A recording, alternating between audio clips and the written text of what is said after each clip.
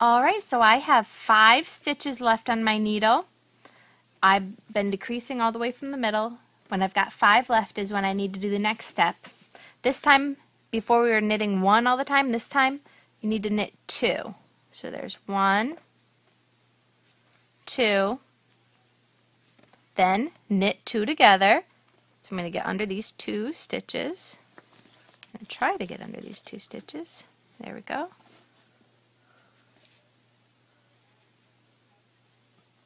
And then knit the last one. Now I have four stitches on my right needle and now I need to cast off.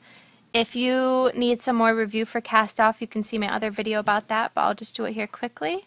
To cast off, I'm going to knit two, one, two. Then I'm going to lift the bottom switch, excuse me, stitch, bring it over the top one and off. Oops, and I lost the top one. Okay, hold on a sec. This will happen. I'm going to put them both back on. No need to panic. And then knit two. There's one, two. Now I'll be more careful when I pull this one off. There, I've still got it hooked on. Okay, so I have one stitch bound off. I'm Gonna knit another one because I need two on my right needle when I'm binding off. Lift the bottom one. Up over the top one. I've still got the top one on my needle. Then knit the last one over to here. And lift that final one up off of here. Alright, so I have that last loop on here.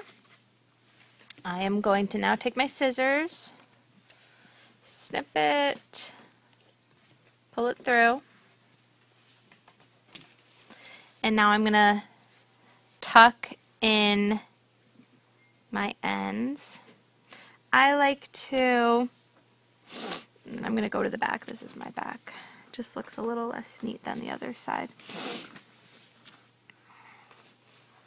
Gonna slide it through a couple loops here. And then I like to go back through one. Don't pull it through all the way.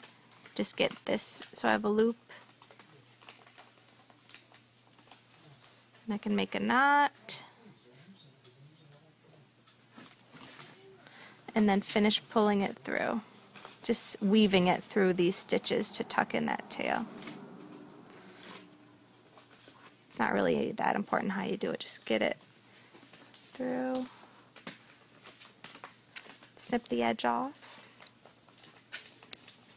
And then do the same thing with your tail from the very beginning. Just tuck it through. And there you go. You've got a dishcloth or you can use it as a washcloth.